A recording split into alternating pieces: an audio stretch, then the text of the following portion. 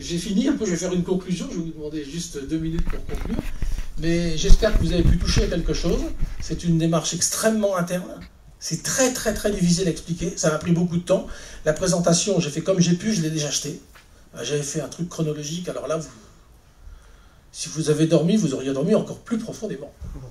Alors donc pour conclure, pour conclure, je voudrais dire trois choses importantes sur, euh, euh, sur les voies que j'ai choisies. Euh, ce sont des directions, à certains moments de ma vie, qui sont contraires au bon sens populaire. Jamais on prend, ce genre de décision. D'arrêter la musique d'un seul coup, ou de partir en Afrique, ou d'un seul coup, finalement avoir du succès ici au Japon et partir dans, les montagnes, quelque part. Euh, c'est fou. Et abandonner tout.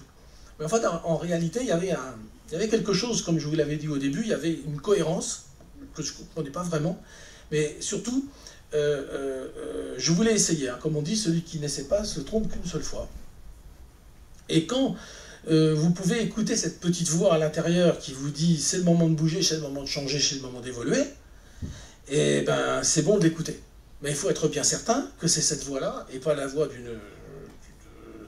d'un caprice, parce que de toute façon la, société vous poussera toujours à aller vers le sens de vers le mauvais sens on va dire, hein, d'écouter ces propositions à elle. Tu as une voiture, elle est bien ta voiture, regarde la nouvelle, elle est mieux. Et là, vous êtes, vous êtes déjà enchaîné. C'est déjà le début de la fin, il faut la payer. Hmm. Oh, la belle maison, et l'entretien, et l'assurance. On est parti là-dedans, on vit tous là-dedans, mais on est enchaîné. C'est un fait. Donc, quand on commence, c'est aussi normal de faire ces choses-là, mais il faut avoir conscience. Donc, euh, euh, c'est un peu des sirènes, quoi. Vous savez pas, c'est trompeur, vous savez pas ce qui, vous a, qui va vous arriver et quel est l'épisode suivant. J'ai senti la trappe se refermer, et juste avant qu'elle s'enferme sur moi, celle du conservatoire à Paris, par exemple, que je devienne quelqu'un complètement formaté, j'ai pris la tangente. finalement, euh, ça s'est avéré pas trop mal, mais c'était pas à gagner d'avance. Merci beaucoup. Voilà, j'ai fini.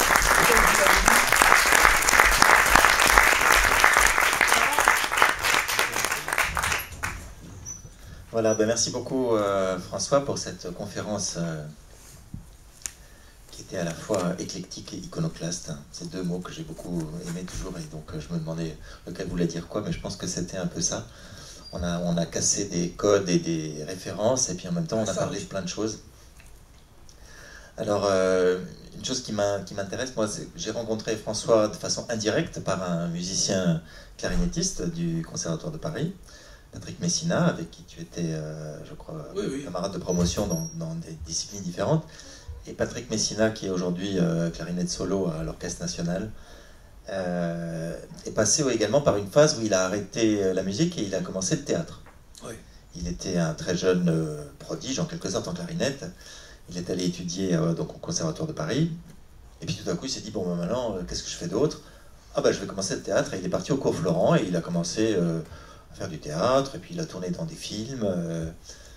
Et donc il y a une certaine similitude un peu dans, cette volonté de rupture. Si tu, peux dire aussi qu'il était soliste de Metropolitan Opera à New York. Hein. Hmm. Il a fait ça et maintenant il est professeur à l'Académie royale de, Londres. Mais tu sais ça, il avait déjà ça dans la tête. Hein. Parce que son, son, son, comment dire, son, son mentor, c'était enfin, Sylvester Stallone. Et il avait toujours des, dans, sa boîte de clarinette la, photo de Sylvester Stallone. Donc moi je peux témoigner, hein, il avait 14 ans, qu'il avait ça dans la tête déjà. Donc c'est ce que je veux dire, tu vois, il avait déjà cette... Il n'a pas abandonné d'un coup. C'était son, son rêve. Et il avait eu l'occasion de travailler avec Mike Hamill, que vous connaissez comme étant le Jedi là, de, Star Wars. Il l'avait rencontré dans un court métrage et ça l'avait vraiment fasciné. Donc il a continué la clarinette, mais il avait ça dans la tête. Donc c'était déjà, il y avait quelque chose. Mais oui, c'est aussi pour ça aussi qu'avec, euh, on est très lié avec Patrick aussi à cause de ça, oui, c'est vrai. Et donc le point, le point commun entre vous deux, c'est cette volonté régulièrement de, enfin régulièrement, je ne sais pas si c'est une régularité ou quoi, mais de temps en temps de faire des ruptures euh, brutales. Ben, pour pas fatiguer, parce qu'on. Mais en même temps, il y a quand même un retour sur un espèce de chemin. Il y a un chemin, mais il n'est pas le, chemin du, du, du compositeur, peut-être d'autres personnes aussi.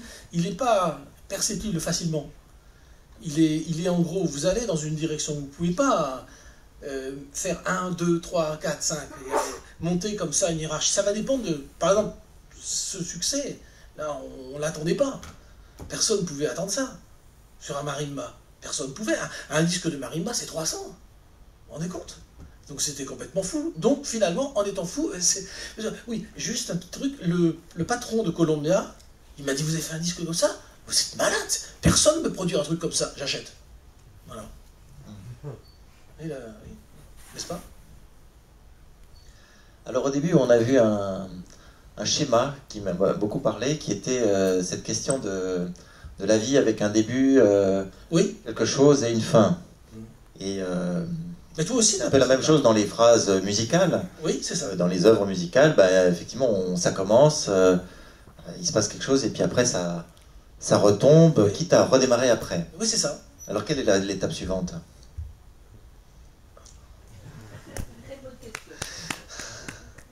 Ça, donc, là, honnêtement, bon, ça, ça m'a pris six ans pour l'écrire quand même. Hein. Euh, on n'a pas encore terminé avec ça, j'ai pas mal de promotions à faire. Euh, l'étape suivante, de toute façon, je vais continuer à travailler avec euh, Alexis, ça c'est sûr. On a, commencé déjà il y a un bout de temps et son idée est géniale. Et probablement enregistrer la symphonie hein, avec euh, Isayoshi Inoue. Et, et, je sais pas vraiment en fait en réalité à part ça. Parce que ça va dépendre de ce, que je vais voir en face. Ça va dépendre de, de l'état quoi. C'est-à-dire qu'à partir du moment où il y a un état dans le genre je suis dans une compagnie, mais ça sonne rouge, ça fait déjà un an que j'en veux plus. Je vais exploser. Généralement, on reste. C'est là où c'est peut-être bien de partir. Même si vous perdez beaucoup d'argent ou des choses comme ça. C'est là où moi, je vais prendre la tangente. J'ai conseillé à Patrick d'abandonner euh, l'orchestre national. Il a fait. Alors, est-ce qu'il y a des questions dans la salle Un autre Patrick. Oui. Comment es-tu venu au Japon? Pour quelle raison aussi d'ailleurs? Ah, alors là je vais faire. Alors oui, je suis venu au Japon. Tu pas dit. Oui, j'ai essayé de faire court. Je suis venu au Japon pour fuir ma femme. Non, mais c'est vrai. Fuir ma femme. Non, fuir. J'étais marié avec une Française. Mais, mais c'est un peu un fait divers, oui, c'est vrai, vous avez raison. C'est pas, pas forcément euh, à la base j'avais l'espoir en fait de, de, m'occuper de, l'année de la France au Japon en 98. On s'était vu d'ailleurs. Et puis il n'y avait pas de possibilité Fuji Télévision. Il y avait M. Kawai, vous vous rappelez de M. Kawai de Fuji Télévision qui euh, euh, pas d'argent. Bon, finalement. Et puis je rentre chez moi, j'étais. J'étais marié, hein, mais bon, ça se passait pas bien. Voilà, justement, ça se passait pas bien. Et puis à un moment donné, on s'est regardé en face. Et on s'est dit, il euh, faut faire quelque chose. Alors, j'ai dit, bah, je vais y aller, je vais retourner au Japon, voir ce qui se passe. Et puis là, je suis plus reparti. Et puis, euh, un an après, je divorçais. C'est pas de la faute de ma femme, hein. c'est juste que. Non, mais c'est vrai. Non, mais oui, oui, il me pose la question. mais euh, c'est juste que, justement, à un moment donné, il y a une décision à prendre. Ça pourrait être le thème d'un plus d'un atelier que d'une conférence, de savoir pourquoi nous tous dans la salle, on est un jour venus au Japon. Certainement. Et après, la question est, pourquoi est-ce qu'on y est resté Oui. Alors, est-ce qu'il y a des musiciens dans la salle? Est-ce qu'ils ont des questions?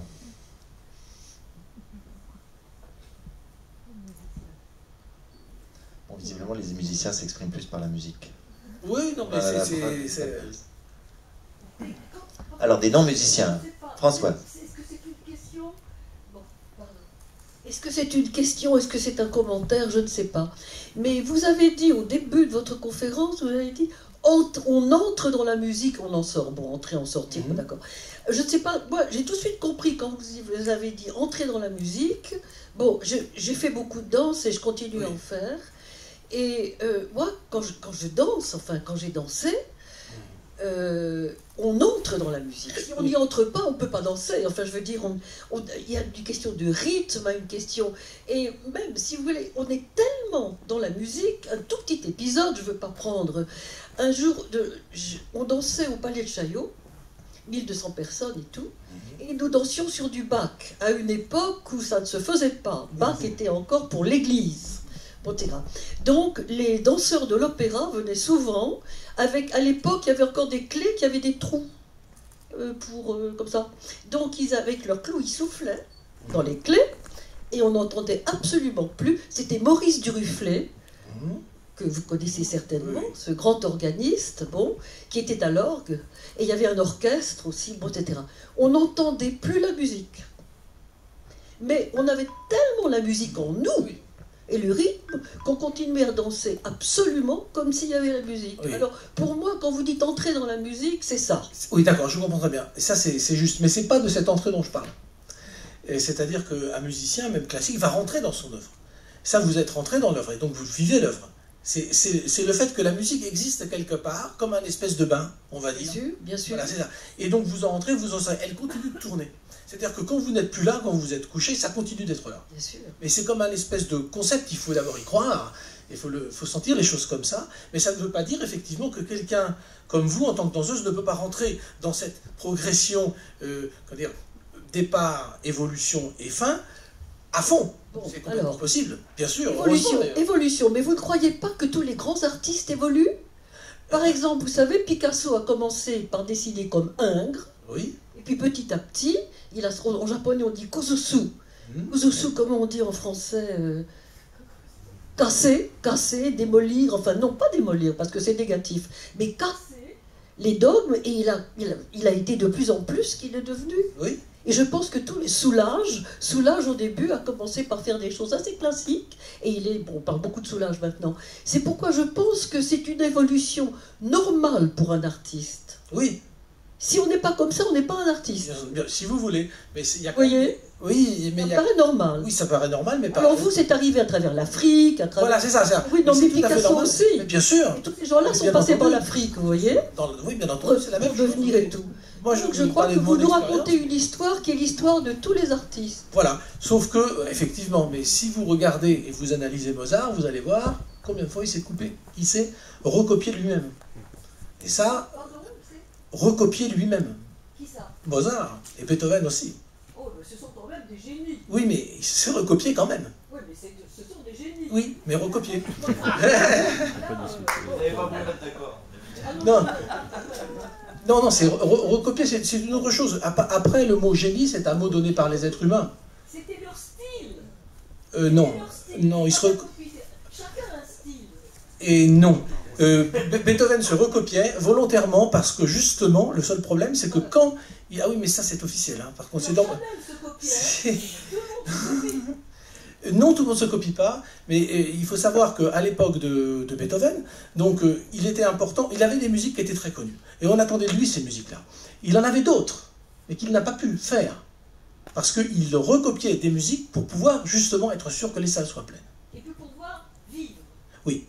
C'est vrai. Vous en avez parlé au départ. Voilà, c'est ça. Moi, je dis pas manger, je dis vivre. Voilà, si vous voulez. Voilà, c'est très bien. Oui, oui, oui, si vous voulez. Mais voilà, donc euh, euh, il y a aussi, un, justement, c'est pour ça que je vous ai parlé au début de cette histoire de, de- de réalité sociale euh, de l'artiste, parce qu'il va être confronté à plein de choses. Peut-être, voilà, il va y avoir des artistes qui peut-être ont énormément de talent, mais vous n'allez pas le savoir. Oui, ou un, un talent différent. Moi, j'ai travaillé, par exemple, ça n'a pas abouti malheureusement avec Ennio Morricone, qui avait écrit un concerto pour guitare et marimba. Et on n'a pas pu le jouer, mais Ennio Morricone écrivait de la musique complètement différente de la musique que vous écoutez dans les films, qui est aussi très très bien dans le style. Voilà. Mais il écrivait quelque chose de complètement différent. Donc c'est ça un petit peu la vie d'un artiste, ça va dépendre. Je, je, je critique pas et je suis très content effectivement que vous posiez cette question, c'est très important. Merci. Enfin, je crois tout de même que. Enfin. Non, pas ça. Voilà, on a, on a différentes euh, musiques ce soir. C'est bien ce qu'on cherchait. Quand, quand vous voulez être vide- Attends, attends, je passe le micro. Oh. Quand vous souhaitez être vide, quelle musique de silence écoutez-vous?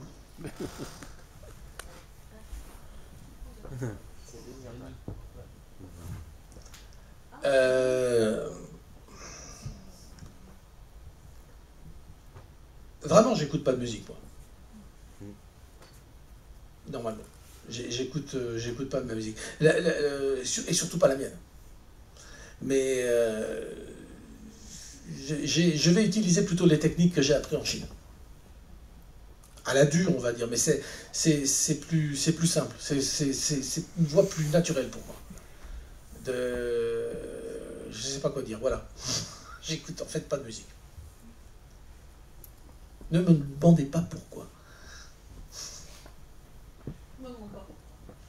Vous avez pris des décisions radicales et on a vu un peu le succès quelques années après. Est-ce que vous avez des décisions euh, aussi radicales que vous n'avez finalement pas prises euh, Lesquelles et pourquoi?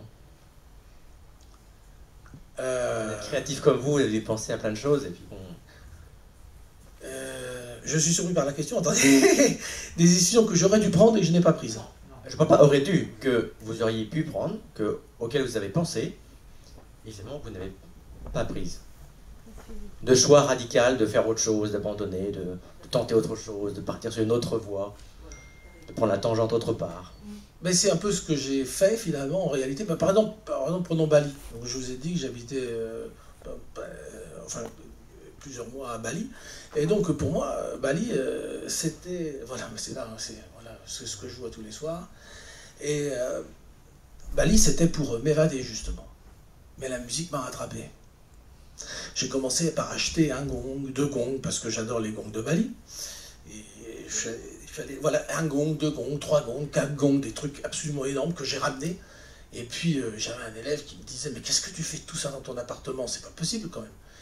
Et puis petit à petit, j'ai commencé à apprendre de la danse de Bali pour pouvoir comprendre autre chose que de la musique. Et puis je suis. Ah oui, c'est c'est vraiment.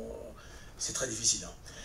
Et bon, je suis revenu dans la musique. Donc j'ai l'impression que je ne peux pas y échapper. À chaque fois, je vais trouver un moyen de, de retomber là-dedans. Et c'est parce que c'est votre, c'est votre voix? Peut-être, certainement. Ça, ça vous répond euh, à la question? Non, c'est- non. Non? Non. Vous voyez, par exemple, on peut dire changer carrément de voix, c'est ne pas. Vous avez suivi la voix, la voix de la Hmm. musique. Bon, selon vos critères, selon vos sentiments, selon vos sensibilités, très bien. Hein Mais alors, vous, vous estimez que vous ne vous copiez pas. Parce que Non. vous ne vous copiez pas. Mais je reviens sur ce qu'on a dit tout à l'heure. Ah, j'ai pas dit ça, je- copier et avoir son propre style. Oui, oui. Et toutes les tous les grands musiciens, ils ont leur style. C'est vrai que moi j'entends trois notes de Beethoven, je sais que c'est Beethoven. Ah oui, ben, J'entends trois notes de Mozart, je sais que c'est Mozart. Et c'est ça qui est formidable. Ils ont leur style et ils y sont tenus. Et ça, c'est une discipline qui est peut-être plus difficile que de s'évader à droite et à gauche. mhm. Peut-être.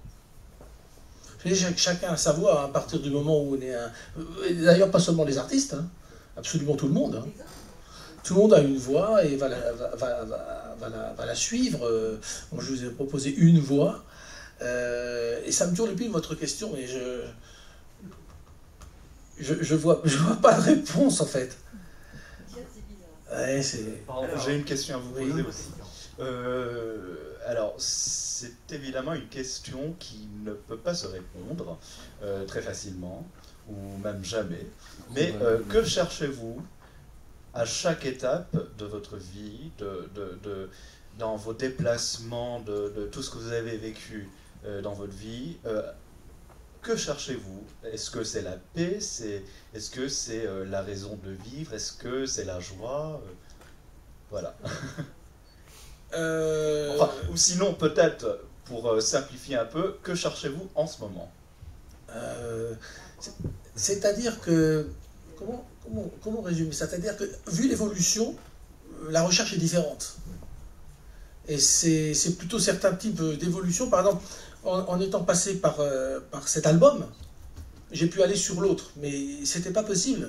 C'était une chose impossible si jamais euh, je n'avais pas fait cet album. Et ça m'a donné l'envie d'aller autre part parce qu'il y avait une réalisation qui m'avait donné un certain goût, comme un chef. qui va, en mettant des goûts, découvrir quelque chose d'autre et qui va l'aider à aller plus loin ou euh, le désir d'aller plus loin. Après, le désir, euh, il est là parce que vous avez, vous vous êtes assis sur quelque chose. Et c'est peut-être ça qui va vous aider à aller euh, sur les étapes suivantes. Mais on ne peut pas du tout, euh, euh, comment dire, j'ai pas du tout d'idée sur les étapes suivantes en fait, en réalité. Mais bon, merci pour la question. Oui, oui.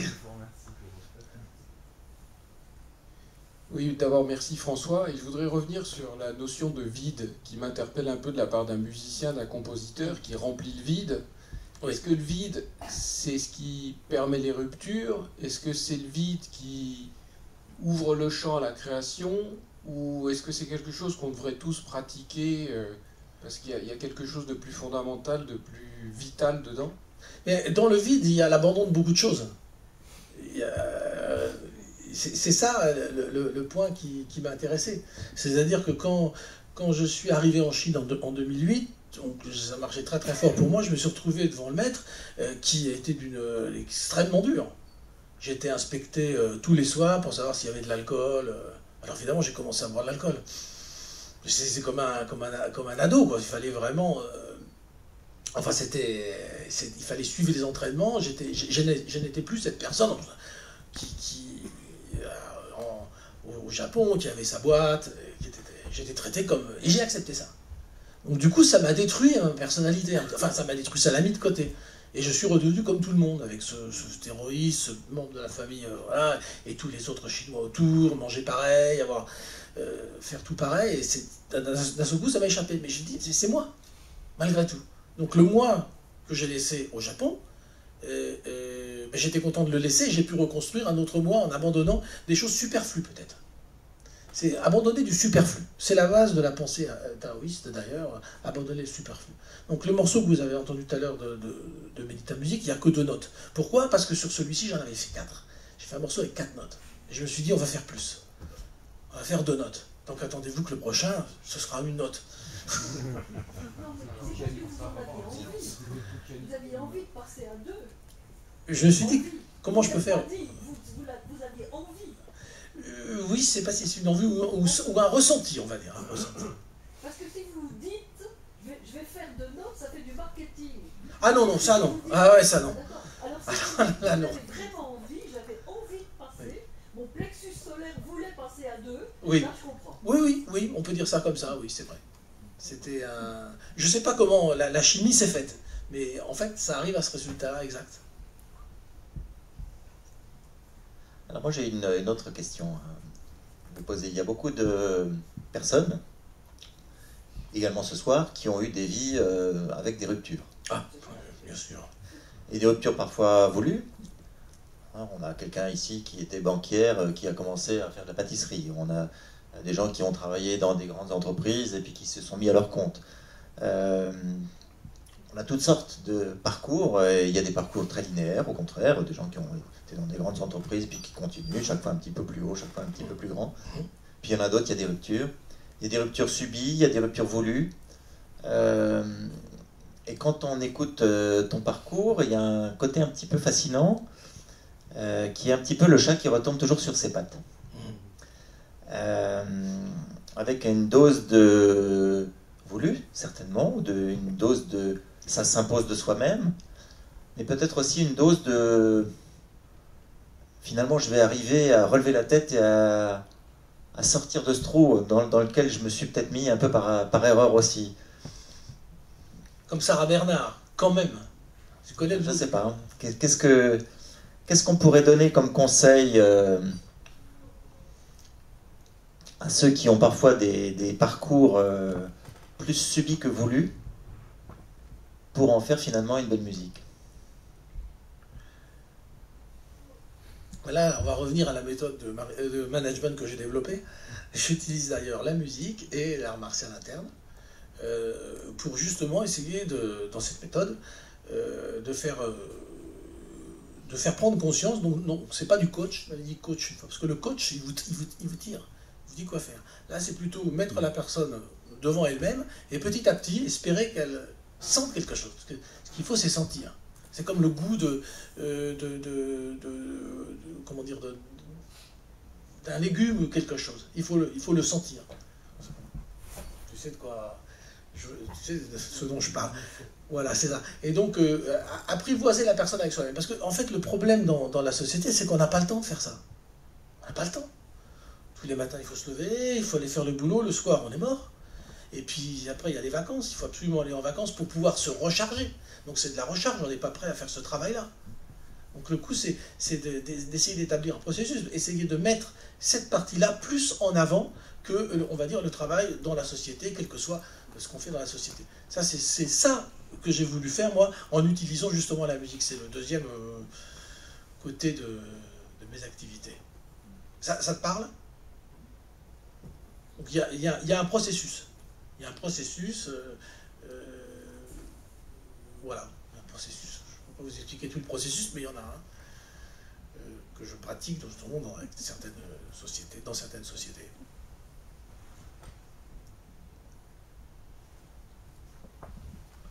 La parole circule. Petite question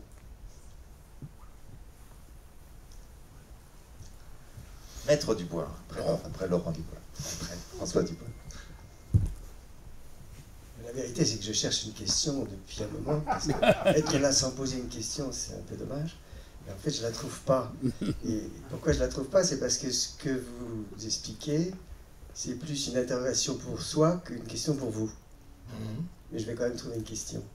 Dans votre psychologie un peu compliquée, euh, qui probablement a des sources euh, anciennes, probablement liées à l'enfance, est-ce que vous avez jamais eu l'idée de vous faire, euh, euh, au lieu d'examiner euh, vous-même par votre introspection, de vous faire examiner par d'autres?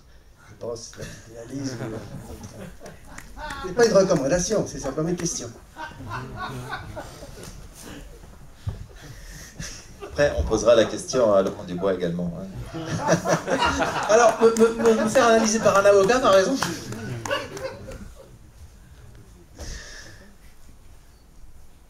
Est-ce que ce serait utile? En tout cas, pour, le, pour la personne, probablement. Il y, a, quelque- chose dont je, voudrais vous parler, c'est que, ça, je n'en ai pas encore parlé, mais j'ai étudié pendant 8 ans le cerveau avec le docteur Igaki de Tokyo Joshidai. Le cerveau, c'est-à-dire euh, techniquement parlant, les systèmes limbiques, les systèmes de- de- comment dire, de communication aussi. Et euh, c'est avec euh, aussi ça que j'ai. euh, donc j'ai pas, pas fait de l'analyse, mais pendant 8 ans, j'ai fait de la recherche là-dessus. Mais donc j'avais mon, professeur devant moi, et puis qui m'a dit plusieurs fois, effectivement,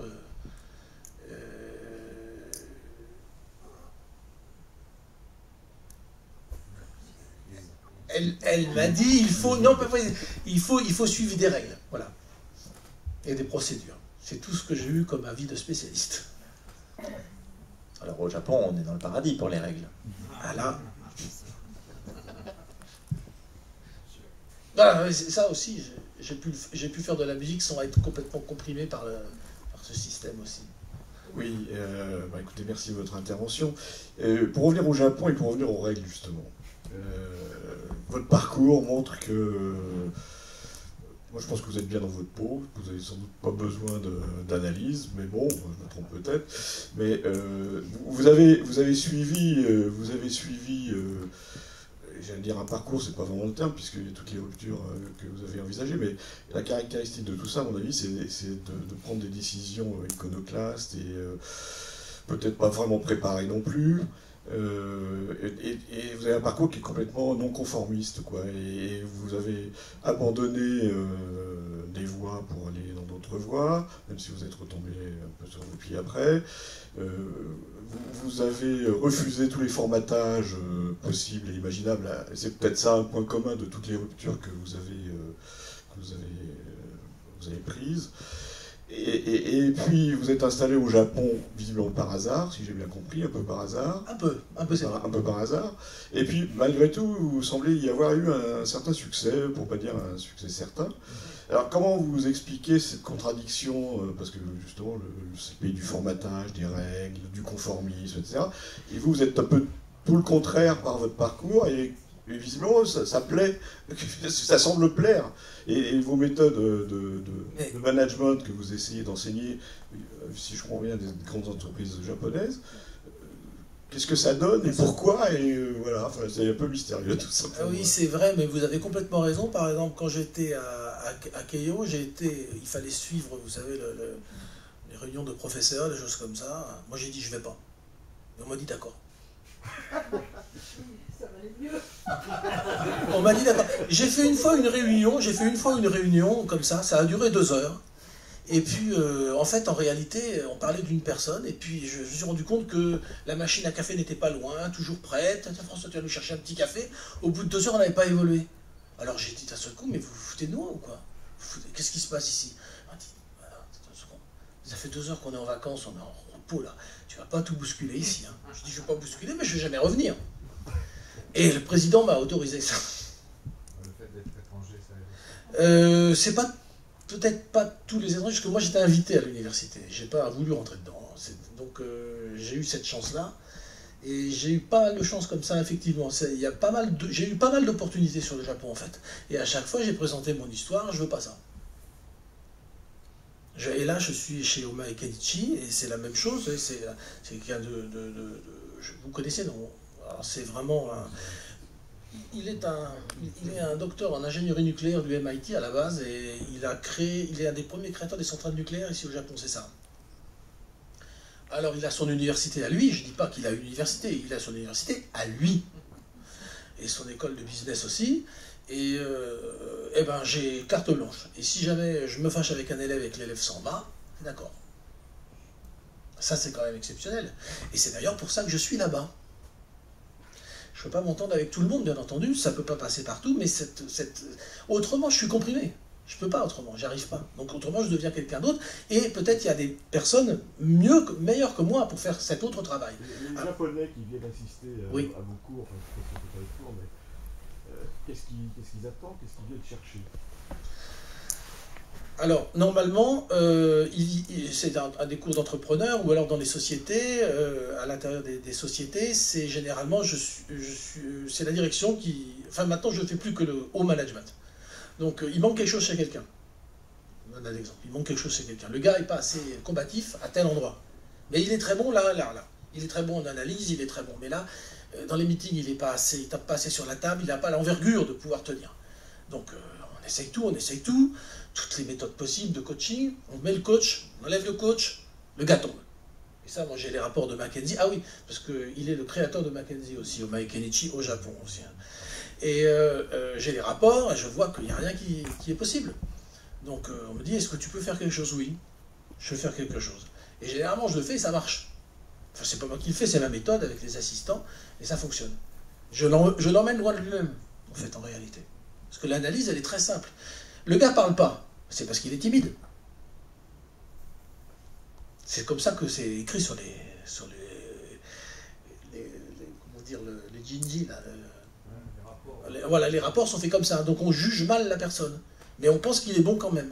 Et c'est là où moi j'interviens, on va dire.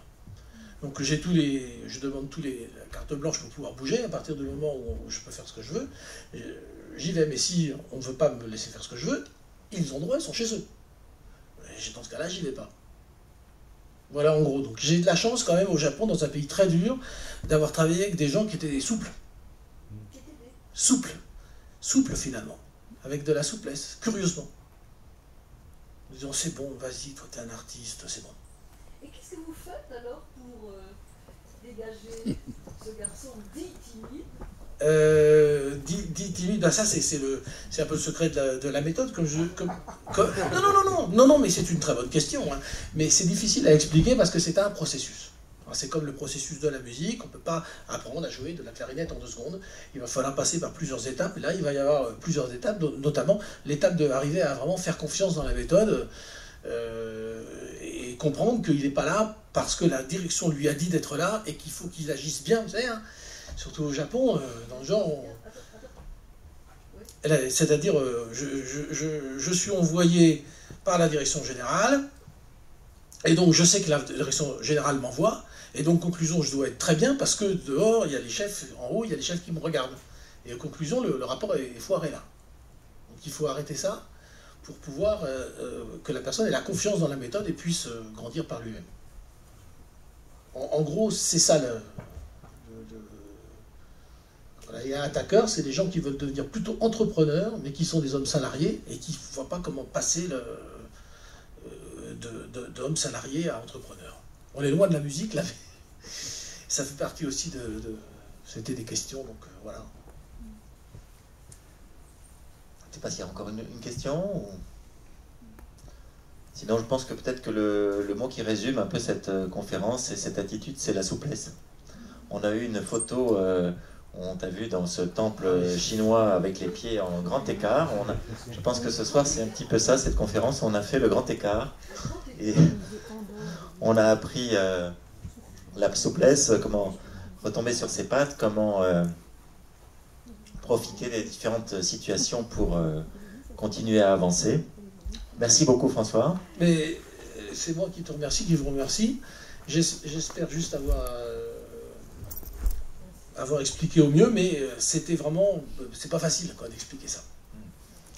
Alors je vais en profiter encore pour remercier l'Institut pour leur accueil et leur euh, support à chaque fois et vous faire quelques annonces. Donc les prochaines manifestations de l'UFE, nous aurons le 22 janvier quelque chose de très différent. On a encore une fois ce cycle fascinant de la naissance, de l'épanouissement de la vie et de l'arrivée vers la retraite.